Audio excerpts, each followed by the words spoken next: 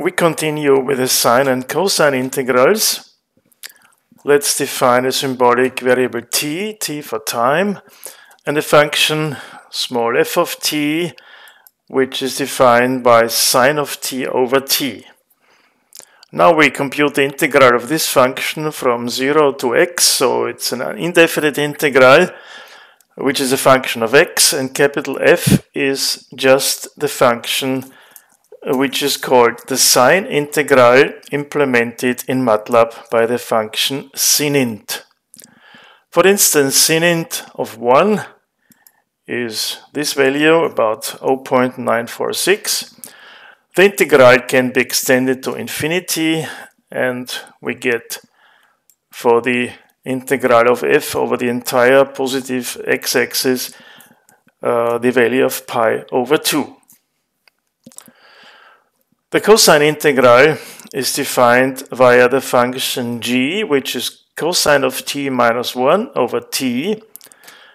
The indefinite integral is the function capital G, which is defined as the cosine integral function of x minus the Euler-Mascheroni constants minus log x.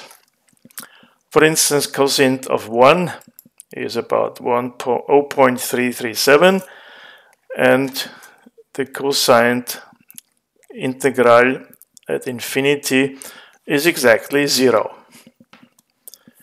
These definitions can be carried over to the hyperbolic sine and cosine integrals.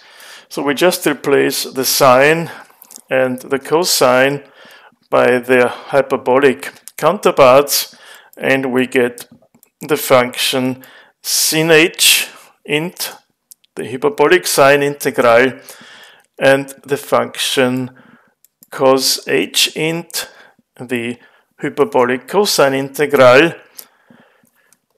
And for instance, the uh, value of this function cos h int as 1 is the value shown in the command window. Next, we a look at the so-called Fresnel integrals. They are related to the function small f as defined here in line 103. So f equals the sine of pi times t squared over 2. This function has no antiderivative which can be expressed in elementary functions. Instead, there is a special function to denote this integral, this antiderivative, which is called Fresnel S in MATLAB, which, like most of the higher functions discussed so far, can be evaluated both for real and for complex arguments. The analogous function for the cosine is called Fresnel C in MATLAB. So this is the antiderivative of the function cosine of p times t squared over 2. And again, we can evaluate it for real and for complex inputs.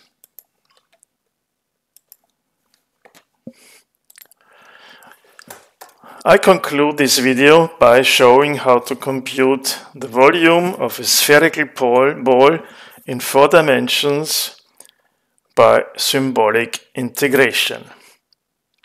I start by defining a symbolic variable capital R, which is positive and represents the radius of the spherical ball in 4D. Next, I define a symbolic vector of the four Cartesian coordinates in the Euclidean space with four dimensions. x is a row vector of dimension 1 by 4 and it's initialized to the values x1, x2, x3 and x4. Now the uh, integration is done much easier in spherical coordinates or hyperspherical coordinates. In 4D we have one radius and three spherical angles. the symbolic variable small r is the radius coordinate and the three angles are collected in a symbolic vector with the name phi. We can define these to be real, but this is not really uh, obligatory.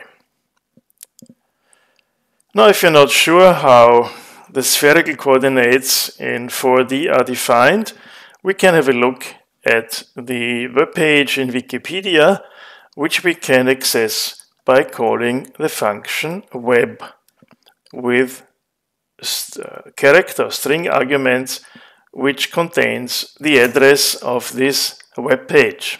So let's execute web and then switch to the browser window.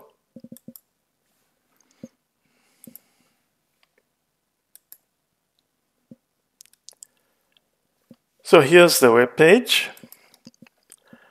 At the top of the page, you see the transformation from spherical or hyperspherical to Cartesian coordinates. This is all we need for the following computations. So let's switch back to the MATLAB window.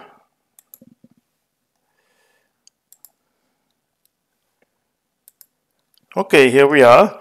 So the next four lines, they contain just the transformations we have seen on the Wikipedia page. We express the four Cartesian coordinates by the radius and the three spherical angles. So x, the vector x contains now these four expressions. Actually, what we need for the computation of the integral is the determinant of the Jacobian matrix, which is a matrix of the partial derivatives of the Cartesian coordinates with respect to the spherical coordinates. And this is done by invoking the function Jacobian. This then stores this matrix in the matrix J. J is a 4 by 4 symbolic matrix and you see the entries in this matrix in the command window. Now we take the determinant by calling the function det and this is the determinant. It looks quite messy but it can be uh, made more compact by invoking the function simplify to get a simpler representation of this determinant. And it turns out to be very simple actually. It's just r to the 3 times sine of phi 1 squared times the sine of phi 2. Now we have to integrate this uh, determinant, so this function of r, phi 1 and phi 2, over the four spherical coordinates.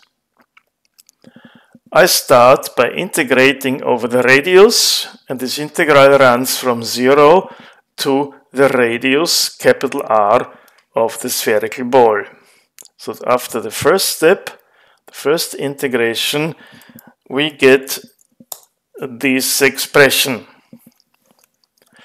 Then we integrate over phi 1 and phi 2 in two steps, each time from 0 to pi. So we integrate first over phi 1, then over phi 2. And what we get is this expression pi times r to the fourth over 4.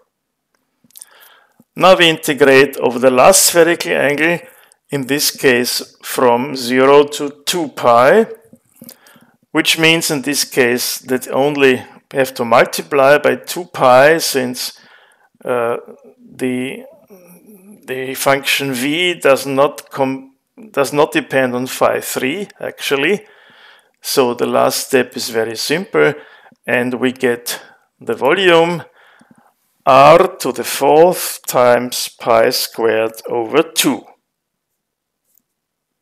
so if r equals 1 we get the unit ball in 4d and its volume is just pi squared over